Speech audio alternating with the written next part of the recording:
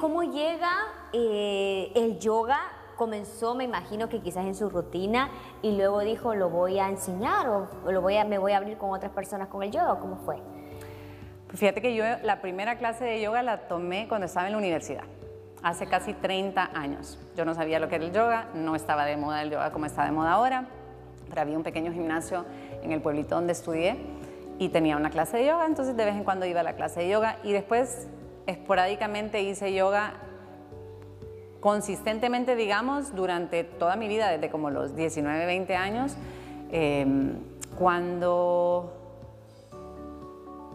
tuve a mi primer hijo, creo que me entró como la espinita de quiero certificarme, no sabía si para enseñar o simplemente para profundizar en lo que era el yoga. Siempre hice mucha actividad física, eh, de gimnasio, de deportes, pero el yoga como que siempre estaba ahí.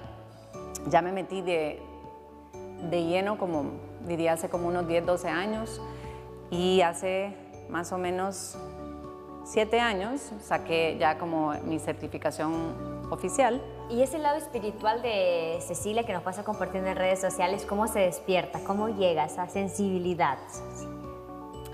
Pues yo creo que siempre he sido muy sensible, eh, pero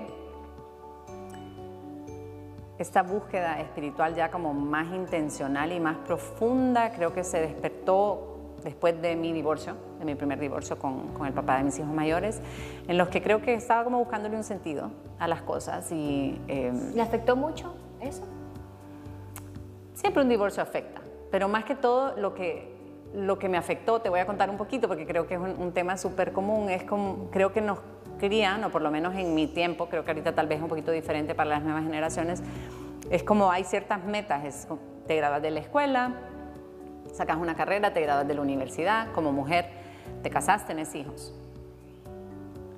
Y no hay como después, es como que ahí terminó la vida, pues. Entonces cuando me doy cuenta de que ya no, no estoy ni casada, eh, tengo 39 años, me falta la mitad de mi vida y es como, ¿y ahora qué?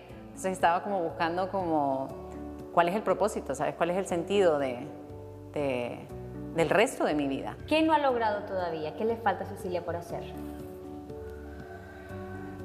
Hmm. De así como metas muy puntuales. Puede ser personales, puede ser laborales.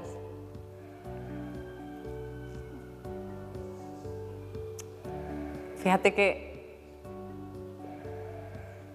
quizás lograr tener como una pareja y una familia eh, familia ya tengo, pero una familia con una pareja eh, que sea duradera y a largo plazo, como meta personal, quisiera vivir en la montaña.